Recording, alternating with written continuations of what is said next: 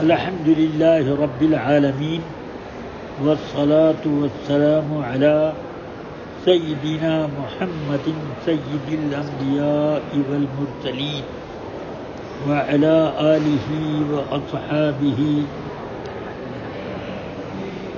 الهداة الهداة إلى أقوم الدين. سبحان اللہ أما بعد. درود شریف پڑھنے، اللهم صل على سيدنا ومولانا محمد معدن الجود والكرم وعلى آله وأصحابه وبارك وسلم ليلة القدر سے متعلق کچھ گفتگو کرنے کے لیے فرمائش کی گئی ہے۔ اس لیے میں یہ بتانا چاہتا ہوں کہ رسول اکرم صلی اللہ علیہ وسلم نے رمضان مبارک آنے سے پہلے خطبہ دیا، فرمایا، یہ سامنے جو مہینہ آتا ہے وہ شہر رمضان ہے۔ سبحان اللہ۔ اس میں ایک فرض اس میں ایک نفل کی ادائیگی ایک فرض کے کی ادائیگی کے برابر ہے اور ایک فرض کی ادائیگی ستر فرضوں کی ادائیگی کے برابر ہے۔ سبحان اللہ۔ اس مہینے میں شیاطین جن مقید کر دیے جاتے ہیں اور جنت کے دروازے کھول دیے جاتے ہیں اور جہنم کے دروازے بند کیے جاتے ہیں۔ اس مہینے میں مسلمانوں کا رزق بڑھا دیا جاتا ہے۔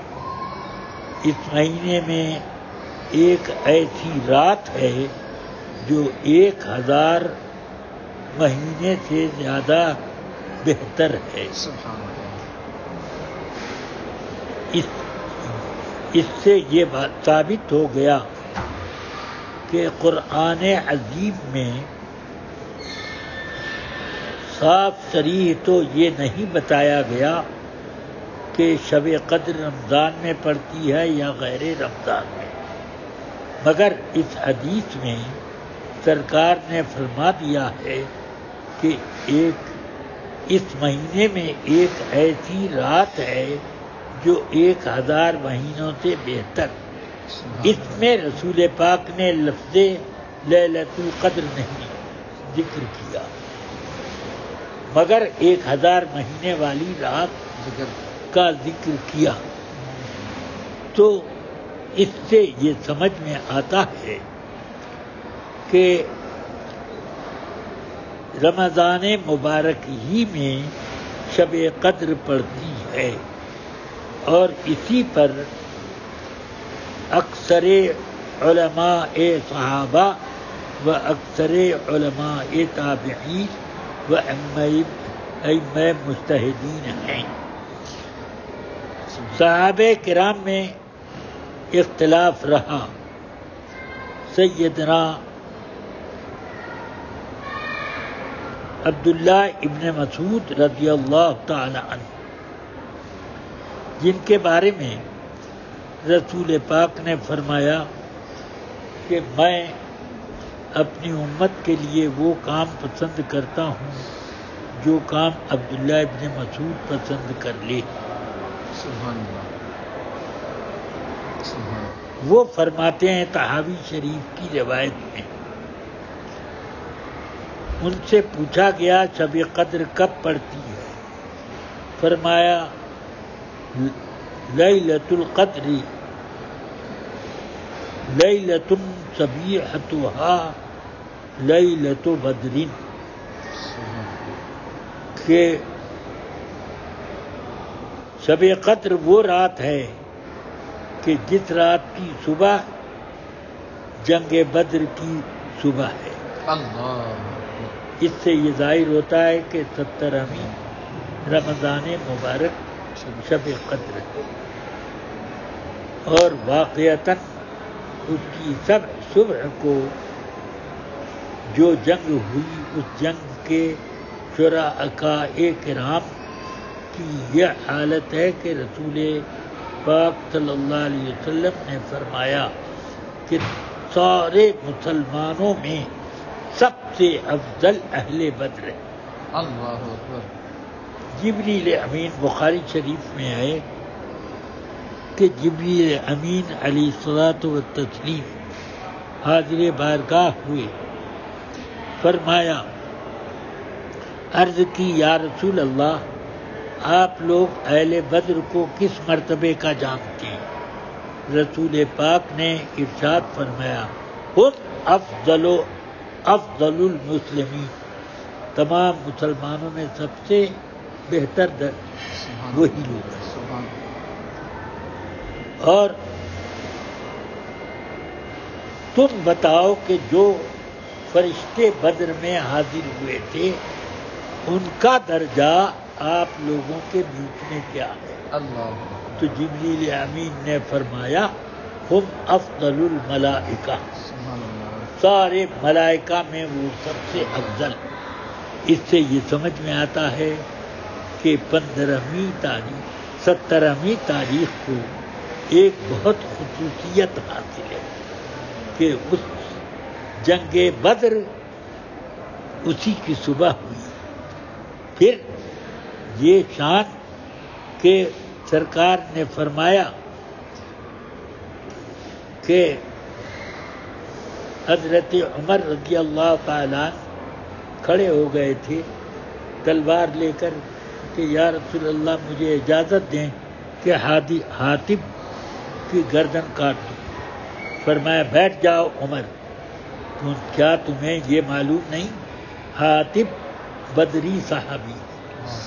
اور اہل بدر کے بارے میں اللہ خوب جانتا ہے اسی لیے تو اس نے فرمایا کہ اعملوا ما شئتم یا اہل بدر قد غفرت لکم۔ کہ اے اہل بدر جو جی میں آئے کرو۔ میں نے سب بخش دیا۔ یہ مرتبہ کسی کو نہیں ہے دنیا میں۔ ساری دنیا میں کسی کو یہ مرتبہ حاصل نہیں۔ جو جی میں آئے کرتے رہو سب مغفرت ہو چکی پہلے ہاں؟ وقت وجبت لکم الجنہ۔ تمہارے لیے جنت واجب ہو گئی۔ یہ سنا حضرت عمر رضی اللہ عنہ کے آنکھ سے آنسو جاری ہو گئے۔ اب حضرت سیدنا ابو سعید خدری رضی اللہ عنہ کی حدیث جس کو بخاری وغیرہ نے تخریج کیا۔ رسول اکرم صلی اللہ علیہ وسلم نے ارشاد فرمایا، جس کو للت القدر کی تلاش ہے وہ آئے میرے ساتھ اعتکاف کرے۔ یہ پہلی رمضان مبارک کے لیے فرمایا۔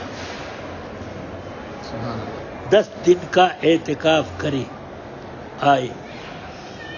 صحابہ کرام دس دن پورے ہوئے تو سرکار باہر تشریف لائے اور فرمایا کہ اس میں نہیں پڑی۔ جس کو تلاش ہو پھر آئے۔ سبحان اللہ۔ تو گیارہ سے بیس تک کا طواف کیا۔ باہر تشریف لائے فرمایا اس میں بھی نہ پڑی۔ جس کو تلاش کرنا ہے پھر واپس آئے اعتکاف کرے۔ اکیسویں پھر اکیسویں رات یعنی بیس سے بیس کی شام سے سرکار نے پھر اعتکاف شروع کیا۔ اور فرمایا مجھے خواب میں شب قدر دکھائی گئی ہے کہ شب قدر کی صبح کو میں پانی اور کیچڑ کے بیچ میں سجدہ کر رہا ہوں۔ سیدنا ابو سعید خدی رضی اللہ عنہ فرماتے ہیں اکیسویں رات کو بارش ہوئی۔ خاصی بارش ہوئی۔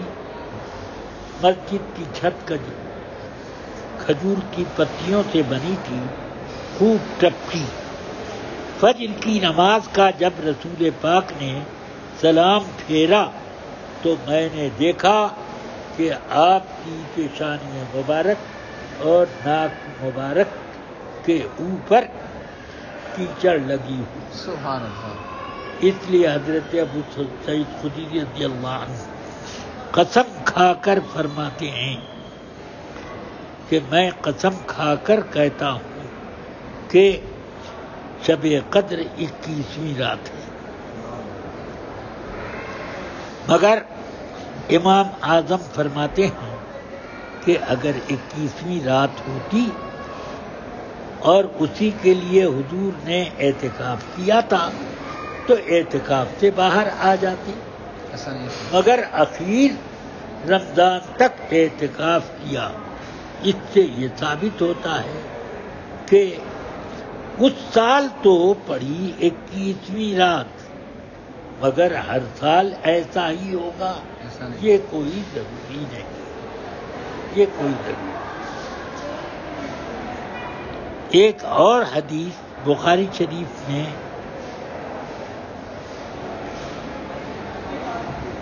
یوں ہے حضور اکرم صلی اللہ علیہ وسلم نے ارشاد فرمایا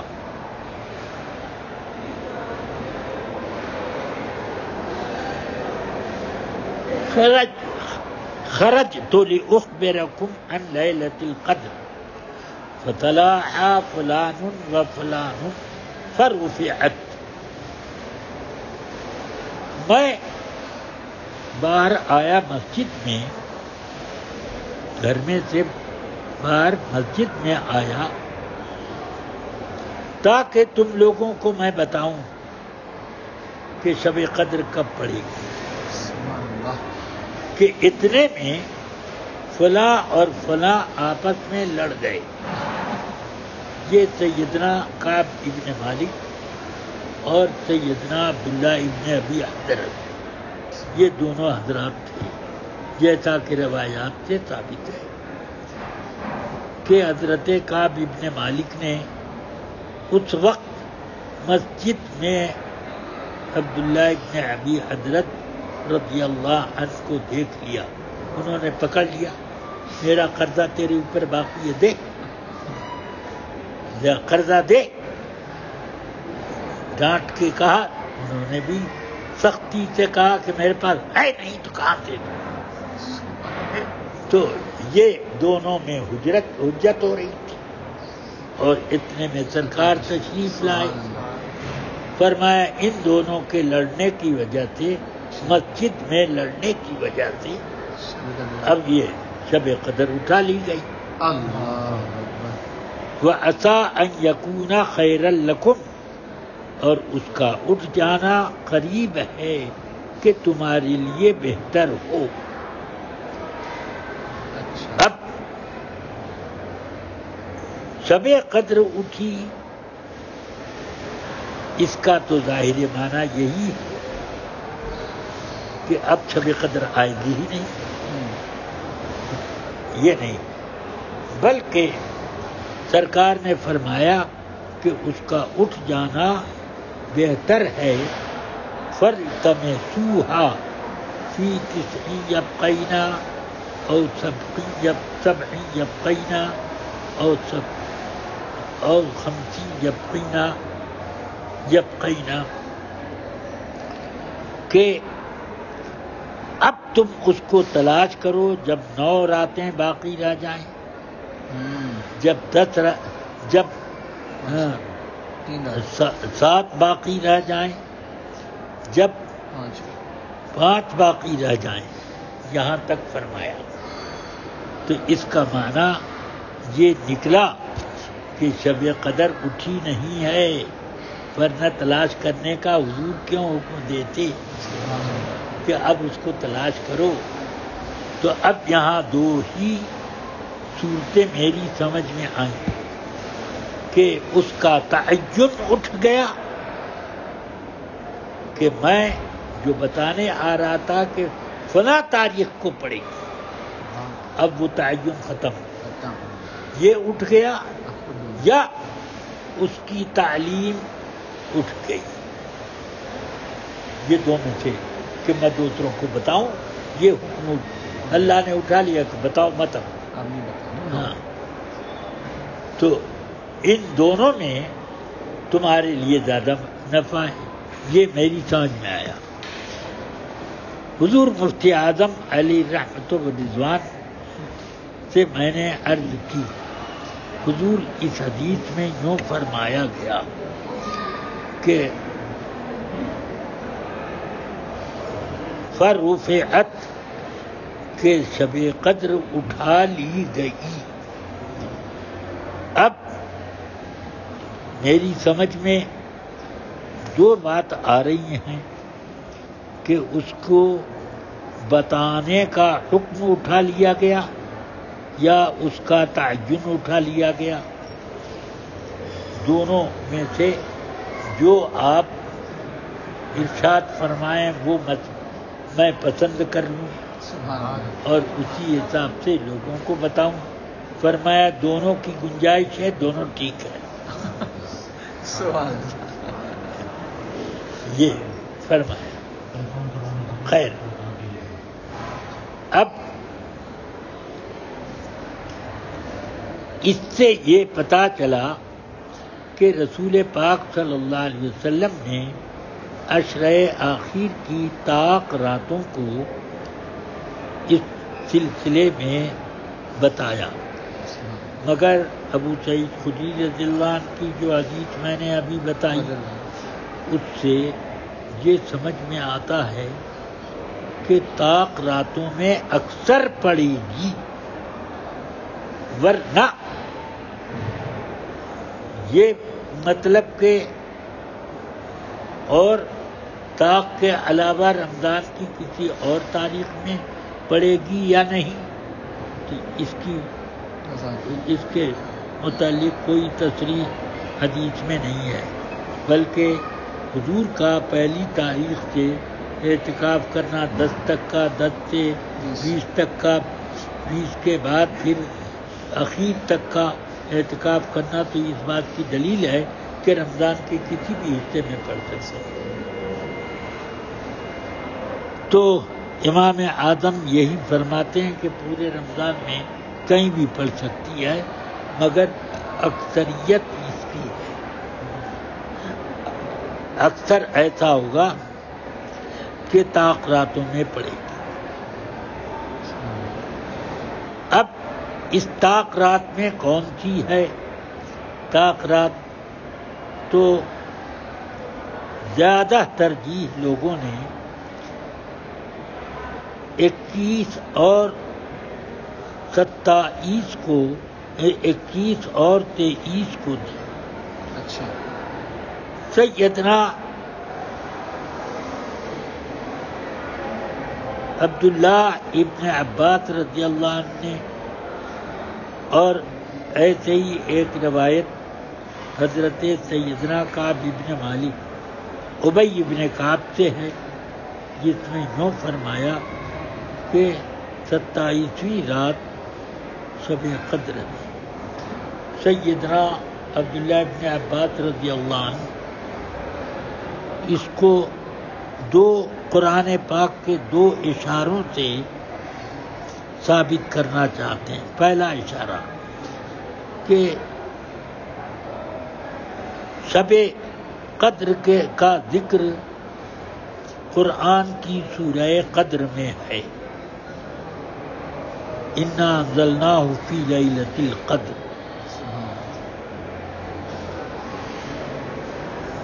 وما ادرا کما لیلۃ القدر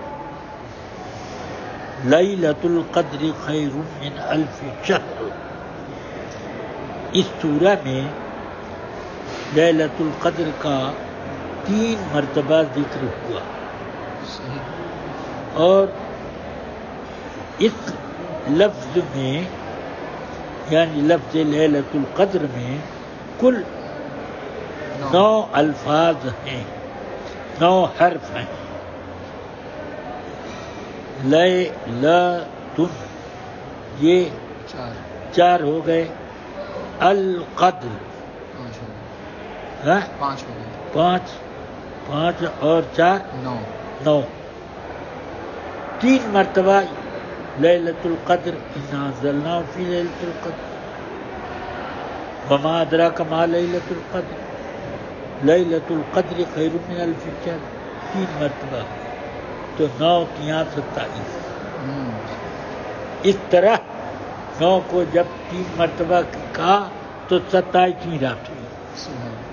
دوسرا اشارہ یہ فرماتے ہیں، اس پوری صورت میں تمام کلمات جو جتنے لفظ ہیں وہ تیس ہیں۔ اور ستائیسواں ستائیسویں ستائیسواں لفظ ہیا ہے۔ اور ہیا سے مراد للت القدر ہے۔ تو یہ ستائیسواں لفظ ہے تو اس کا مطلب ہیا ستائیسویں رات شب قدر ہے۔ اس طرح پر۔ بہرحال، حضور اکرم صلی اللہ علیہ وسلم کا یہ ارشاد فرمانا کہ شب قدر کی تعلیم ہو یا شب قدر کی تعین ہو، یہ اٹھا لی گئی، یہ منسوخ یہ منسوخ ہو گئی۔ تو اس کا مطلب یہ ہوا کہ یہ بہتر ہے تمہیں ایسا ان یکونا خیر لکم۔ یہ اٹھ جانا بہتر ہے۔ یہ بہتر ہونا کس وجہ سے ہے؟ اس وجہ سے کہ بندہ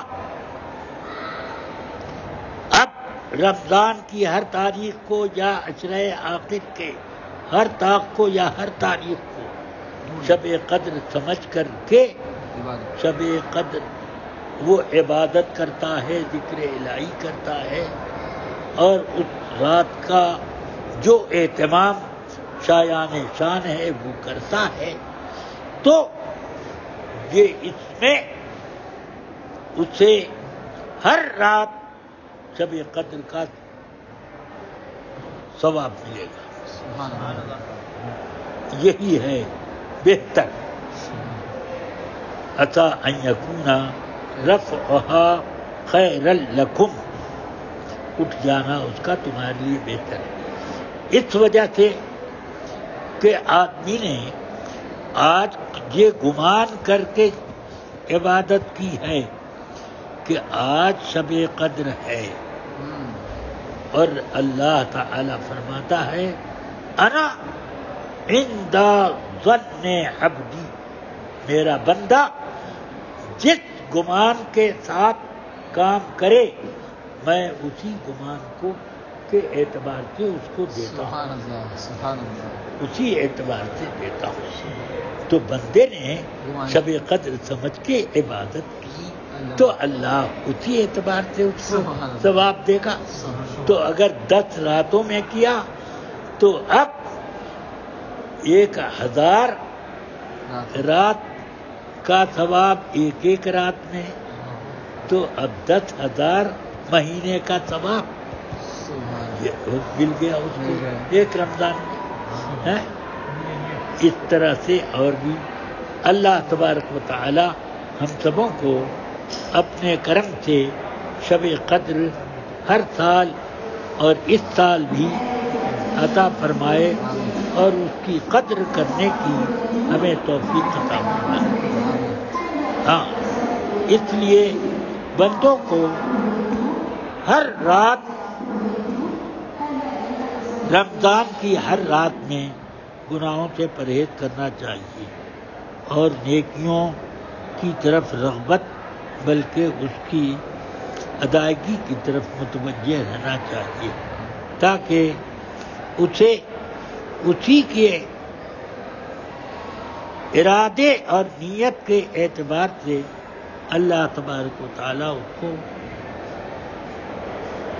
جزائے خیر عطا آمین۔ اللهم ربنا آتنا في الدنيا حسنة وفي الآخرة حسنة وقنا عذاب النار یا رب العالمین ہمیں رمضان مبارک کی سعادتیں رمضان مبارک میں سعادتیں جمع کرنے کی توفیق آمین۔